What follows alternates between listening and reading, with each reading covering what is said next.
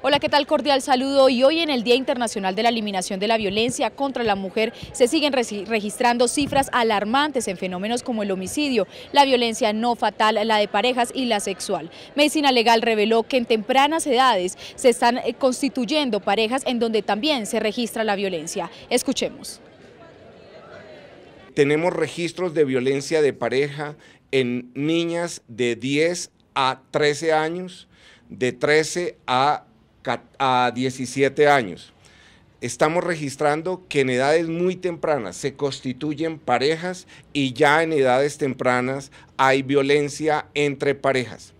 Señalamos con gran preocupación que el 63% de todos los casos de violencia sexual que el instituto registra está en edades entre los 10 y los 17 años de edad. 25 de noviembre, se constituya en todos nosotros, los ciudadanos, un día de reflexión, de respeto hacia la mujer.